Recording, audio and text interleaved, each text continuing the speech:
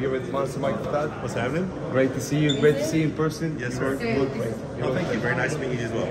Um, yeah, I, I was like doing like this stuff where we uh, ask all the athletes we can catch because your guys are resting. You're active here, taking pictures with everybody. Came down and picked up some pizza. That's what it was. so I'm stuck here for a little bit, but yeah. Um, biggest event of all times. Damn. Did you Everybody- see how many views on the press conference? It's over a quarter million, like 300. Crazy, crazy. Insane. Eleven Yeah. people watching live. Live at one time, yeah, it's insane. Crazy, crazy.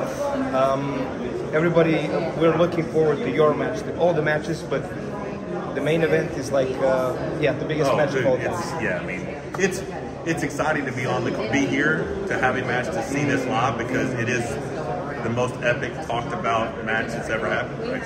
So, So my question is, Devon or Lamont? So I've listen, what, everything. what Devon has done is is almost a fairy tale. It's amazing to see his resurgence and everything he's done. My money is on Levan. Like if I'm a Yeah. betting guy, I Yeah. think Levan wins.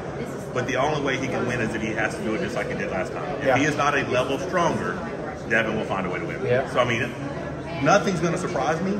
But if I had to bet money, I bet on Levan. But I mean, I've always said it's 60-40 Levan this time, and it could actually be 51-49, and it could be that close, right? You know what I mean? Like, Yeah, but yeah, it's it's going to be fun to watch.